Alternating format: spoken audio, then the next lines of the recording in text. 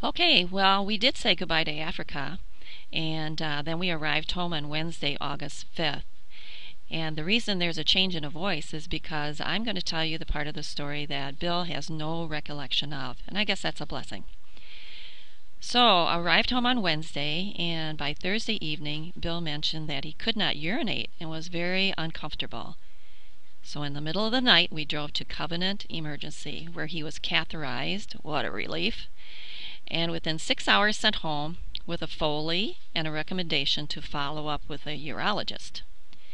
One urologist, a former doctor of Tiny's, was willing to bill, see Bill right away on Friday morning.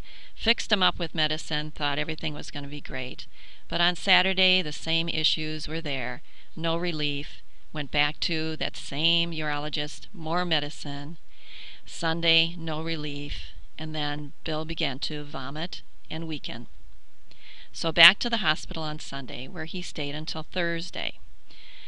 During his stay at Covenant, the doctors treated Bill for fever, diarrhea, C. diff, and hepatitis A, but no relief. Many blood samples were sent to the Center for Disease Control in Atlanta because of our trip to Tanzania. As the test results returned, all of them negative. Bill became silent and unable to move a muscle. Middle of the night, on Friday, August 14th, Bill was transferred to U of M hospital by helicopter after an M, uh, MRI showed lesions on his brain, brainstem, and spinal cord. Because of this discovery, Bill was put on a ventilator as a precaution, so they said. My first encounter with U of M Hospital was with a very knowledgeable and kind nurse in ICU who asked me if Bill had a living will and what were his wishes for life support. That was a pretty shocking question. My second encounter with the staff at U of M was a team of doctors that closed the door to the waiting room and suggested I call in the family as Bill could stop breathing at any time due to the lesions. Thank God for creating families, and we do have a big one. Down the distant road, as things improved, Amy said to me, Mom, I think I better talk to Mike about having more kids because if something like this happened to either one of us, we need more kids to help us because it took all five of us, myself and our four daughters, to keep watch over Bill 24 7 and support each other. U of M took good care of Bill throughout that weekend with three teams of doctors studying him. There were infectious disease doctors, neuro- neurological doctors, and neurosurgeons. But they could not agree as to what medical protocol would help Bill improve. Meanwhile, Bill became weaker and weaker. I have many heroes during this ordeal that Bill was going through. But one of my heroes was Dr. Rajaji, who returned to work on Monday. He was the one in charge of the ICU unit in which Bill was housed. He reviewed Bill's chart and gathered the three teams of doctors together for consensus. He suggested that Bill had ADEM, ADEM, which is disseminated encephalomyelitis. If you take a look at this picture of a brain, you'll see the white matter where the arrows are pointing to. Those are the lesions. I was ecstatic that a diagnosis had been given. It, actually, it was an answer to much prayer.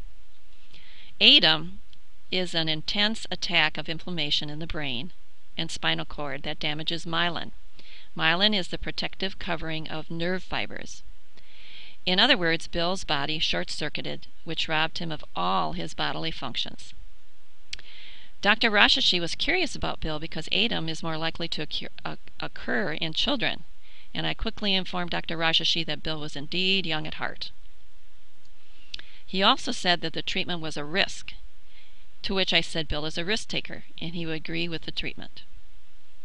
The treatment? Large doses of steroids for seven days, and then a period of steroid weaning. At this point, Bill could not move a muscle.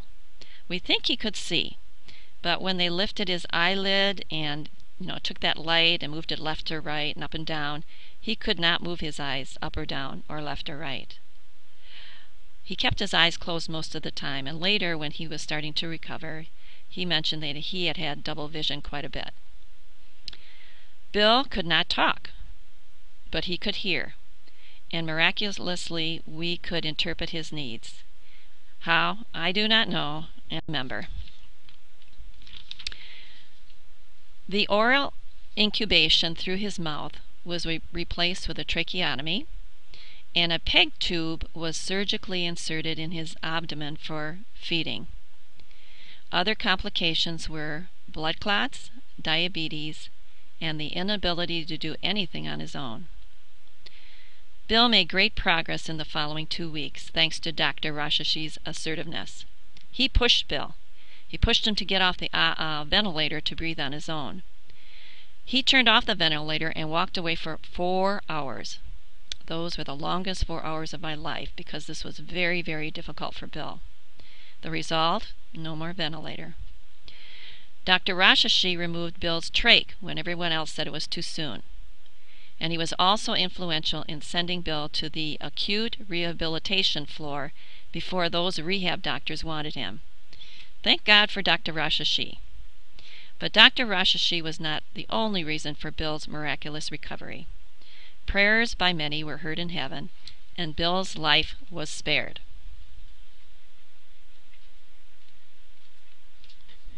As I come back, I want to thank all of you for the prayers that you had for me. I'm most grateful that I'm able to make this presentation today uh, because, uh, and I firmly believe it's because of the prayers of, of people like you and, and many others in the community. I had a conversation with our local priest here in town, Father Bob, that I was expressing my appreciation for the prayers that came out of Blessed Trinity and he says that he thinks that there was a funnel of prayers going straight up from the community to the Lord. And I firmly believe that that's why I'm here. So as I started waking up in Ann Arbor and seeing all of our daughters, and especially Paula from Chicago, and then Pastor Brand, I said, What is going on? Where am I? Where have I been? What day is it? What month is it? And I know that because of Karen and, and the girls, they were wonderful patient advocates that I'd been well taken care of, but I really didn't know where I was or, or what had happened. But it was a big day as I uh, started becoming conscious uh, that I moved out of the ICU unit to the neurological general floor. Uh, Sister Roxy and, and my mother Dorothy were able to come visit me, and I was very happy for seeing family, although I always kept telling them they should go home. They've got their own families to run and, and uh, take care of and, and be with. So as I moved out of the neurological floor and into the acute rehab floor, one of my greatest joys in this whole process was when I had my first shower after about a month. You're lucky, no photo, but there was uh, an occupational therapist named Bob that gave me that first shower, and I'm still eternally grateful for him.